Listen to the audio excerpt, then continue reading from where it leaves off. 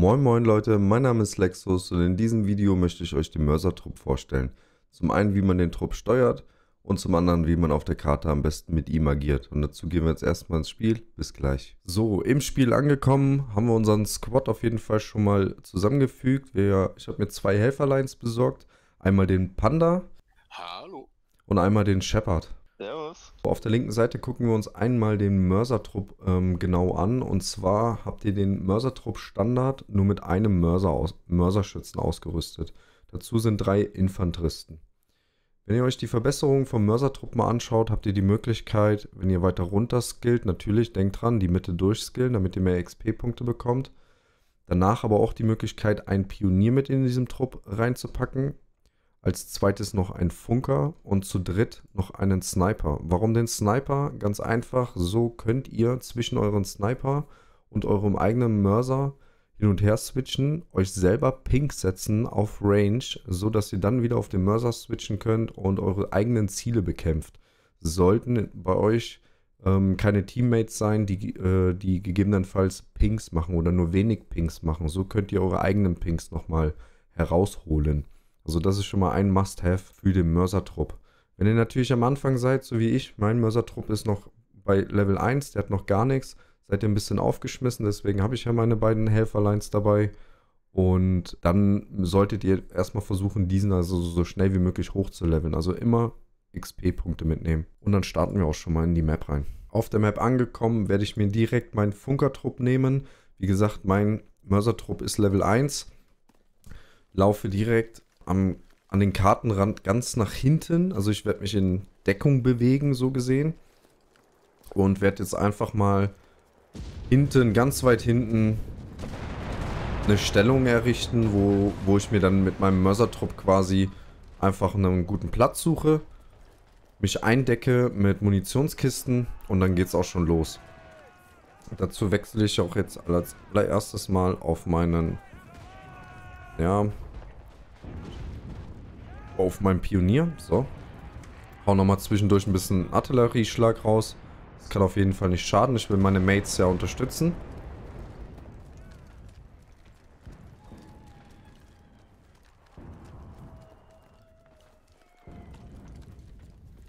So, ich würde sagen, hier vorne ist das Gebäude zum Beispiel. Das müssen sie nachher auch noch einnehmen. Also macht es Sinn, wenn ihr euch hier hinten irgendwo beispielsweise auf dem Hügel eine Stellung sucht, wo ihr das Ganze aufbauen könnt und dann sogar noch dieses Gebäude bebombt. So, das mache ich in dem Fall jetzt mal hier. Ich nehme meinen Pionier. Als allererstes baue ich mal ein Spawn Beacon. Warum? Ich will natürlich hier auch wieder spawnen direkt.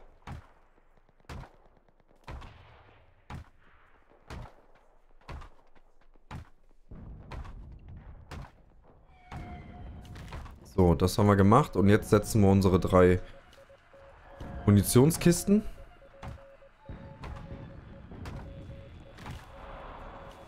Die packe ich alle direkt nebeneinander.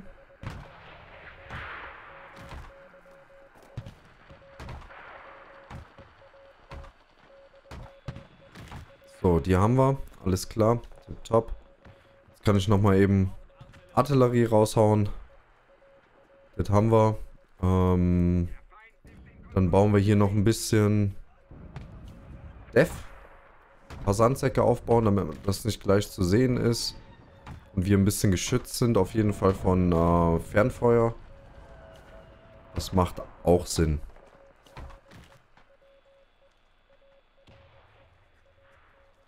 Ja, man soll sich ja nicht direkt zeigen. Okay, da kann ich nichts mehr aufbauen, schade. So, als nächstes werde ich eben mit dem Trupp auch in den Nahkampf gehen. Werde mich so gesehen jetzt einfach opfern.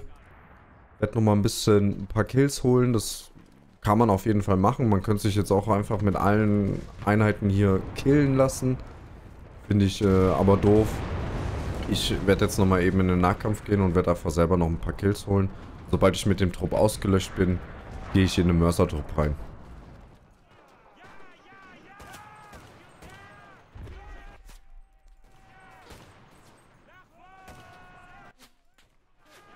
Und ich sage euch, das FG42 mit Zielfernrohr ist der Hammer.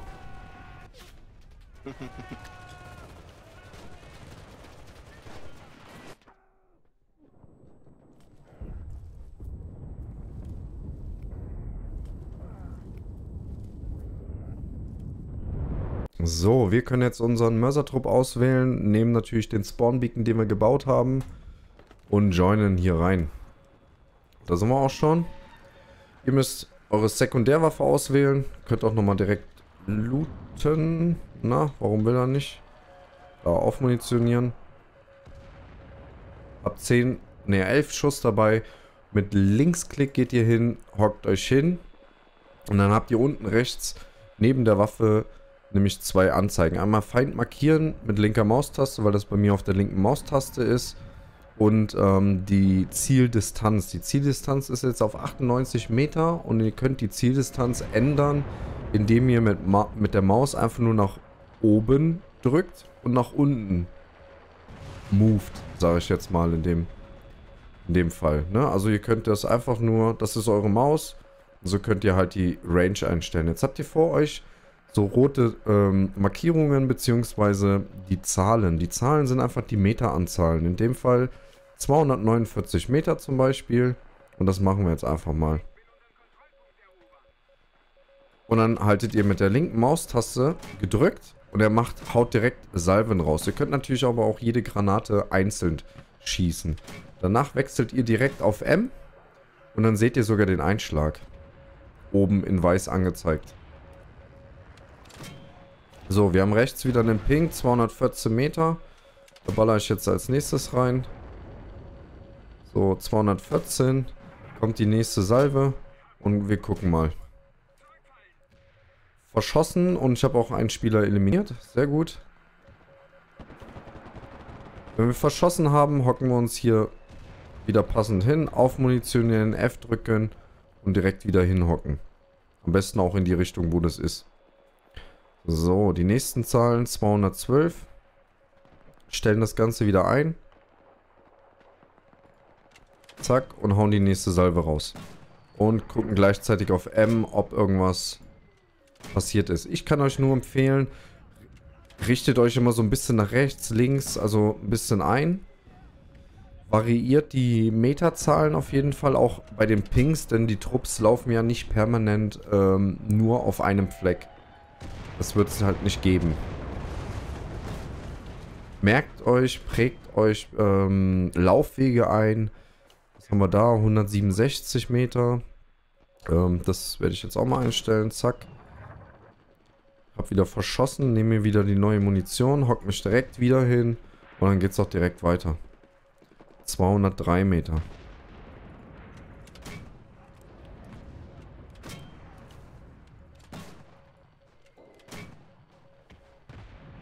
176 Meter. Da hauen wir auch eine Salve raus. 182 Meter.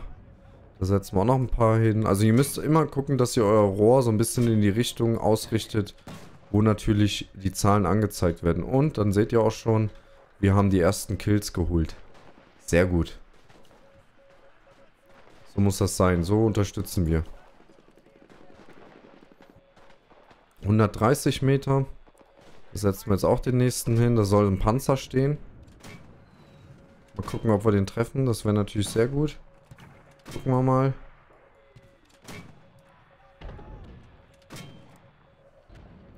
Da ist aber anscheinend nichts mehr. Ah, nee, ist nach rechts geballert.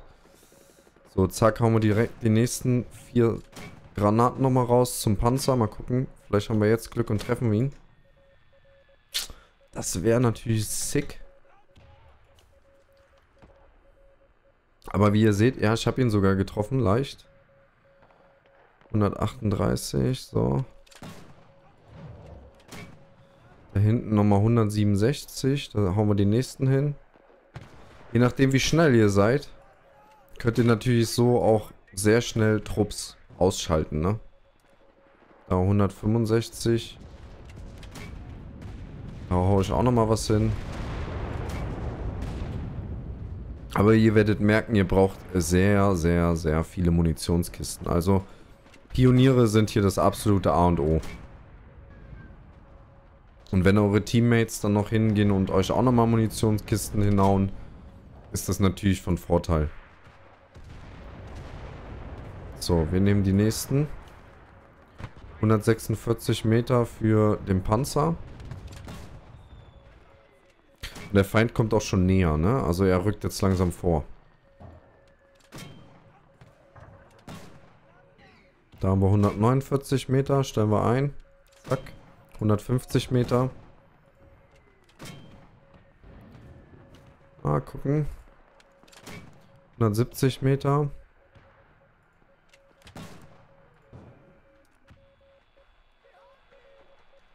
Munitionskiste ist leer. Munitionskiste, hä? Kann doch nicht schon leer sein. Ja, ich habe auch schon wieder was getroffen. Irgendwie sind die Munitionskisten so ein bisschen buggy gerade. Ah, jetzt. Okay, passt. Jetzt können wir weitermachen. Habe ich die Position gefunden. 215 Meter, ist das richtig? Da kommen die nächsten. 133. Da werden wir die nächste Salve hinsauen, hinsetzen. Das ist an der Kirche direkt.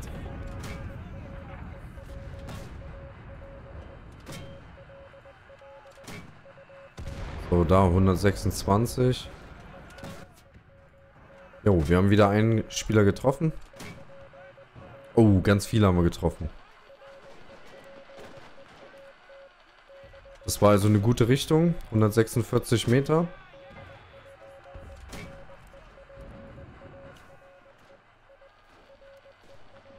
Wir nehmen die nächste Munition.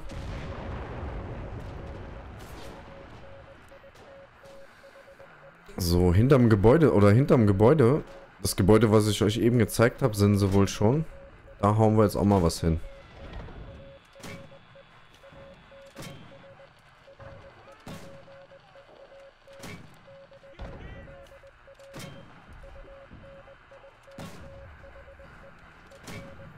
Und sie kommen auf jeden Fall näher. Oh ja, wieder zwei getroffen. Jetzt werde ich auch mal ein bisschen sporadischer einfach raushauen, was die Granaten betrifft. In der Hoffnung, dass die einfach da reinrennen.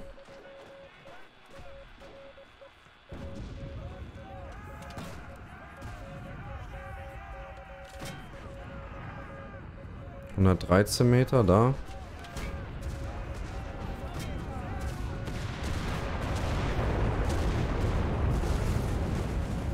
Wenn ihr jetzt natürlich noch einen Funker dabei habt, wäre das natürlich optimal, ne? Habt ihr einen Funker dabei, könnt ihr immer wieder noch zwischendurch Artillerie raushauen. Und dann kleistert ihr den Gegner natürlich nur so voll, was, was Granaten betrifft. Also, das knallt dann schon richtig. 116 Meter, da haben wir sie wieder.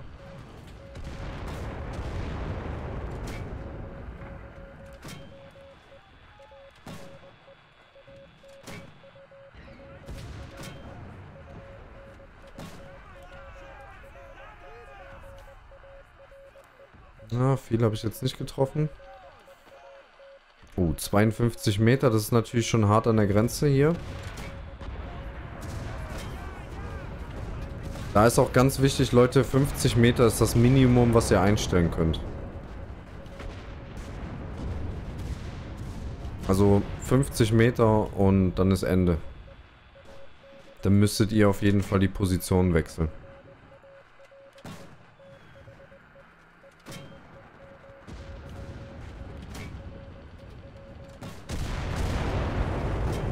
War wieder ein Panzer getroffen.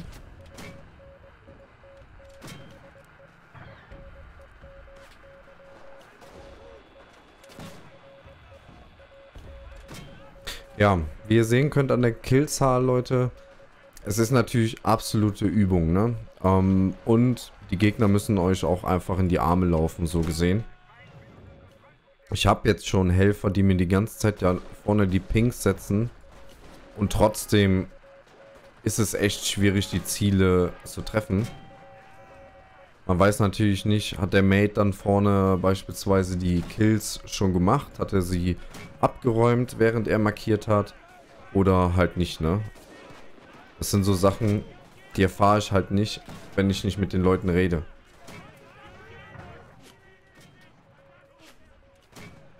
Schau jetzt aber einfach mal sporadisch da rein.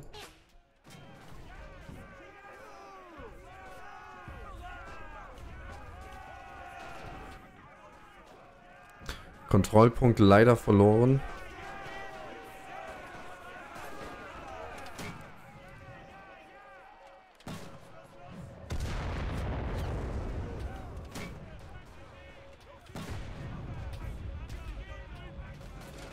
Haben nochmal einen getroffen. Sehr gut.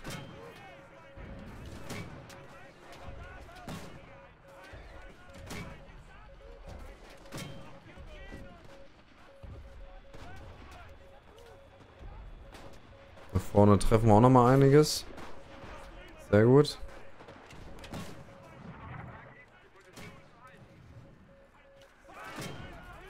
Hundertsechs Meter, 113 Meter. Da hauen wir nochmal was rein. 110 Meter, 106 Meter.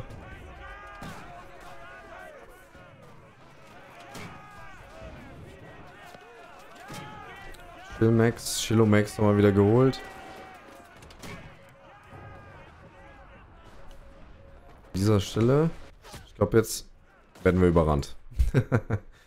okay, wir sind wieder zurück, haben das Match äh, abgeschlossen und tatsächlich auch in dieser Runde bester Mörserschütze erreicht, was natürlich euch auch den Vorteil gibt, dass ihr hier oben mehr XP dazu bekommt. Warum? Weil ihr ein Held des Gefechts seid. Also wenn ihr den Mörsertrupp spielt und ihr holt natürlich einige, viele, also viele Kills mit dem Mörsertrupp, dann bekommt ihr auch Held des Battles und dementsprechend auch nochmal mehr XP. Wir haben eigentlich gar nicht so viele Kills in dieser Runde gemacht, aber trotzdem 16.786 XP gefarmt. Einfach nur, weil wir einmal Battle äh, of Hero sind mit zwei verschiedenen Ab Abzeichnungen. Und wir haben natürlich das Premium aktiv und das hat uns auf jeden Fall so viel XP gebracht. Also wir haben nicht mal viele Kills. Wir sind zurück. Ich kann natürlich jetzt meinen Mörsertrupp aufwerten. Ich denke, ich habe euch grob auf jeden Fall alle Funktionen vom Mörser erklärt, wie er am besten fungiert, nämlich mit einem Pionier zusammen, mit einem Sniper zusammen. Wenn ihr nämlich nicht so viele Pings auf der Map habt, seid ihr aufgeschmissen. Mein letzter Tipp für dieses Video, nimmt den Mörsertrupp nur mit rein, wenn ihr wirklich mit Teammates zusammenspielt. Denn es ist eine 50-50 Chance, ob eure äh, Random-Mitspieler äh, Pings machen oder nicht. Das ist eine ganz einfache Geschichte. Machen die keine Pings, seid ihr komplett aufgeschmissen. Habt ihr nur wenige Pings, okay, dann nehmt ihr euren Sniper noch dazu, macht selber Pings, aber das ist je nachdem, wo ihr hockt, welche Map das ist, natürlich gar nicht so einfach. Also, ich würde euch empfehlen, nur den Mörser zu nehmen, wenn ihr Mitspieler habt. Das soll es auf jeden Fall an dieser Stelle gewesen sein. Wir bedanken uns fürs Zuschauen. Wir hoffen, es hat euch auf jeden Fall gefallen. Denkt dran, abonnieren, Glocke aktivieren, verpasst nicht die nächsten Tutorials und schaut doch einfach mal bei mir auf dem Twitch-Kanal vorbei, Lexus1987. Da wird enlistet auch immer wieder live gestreamt.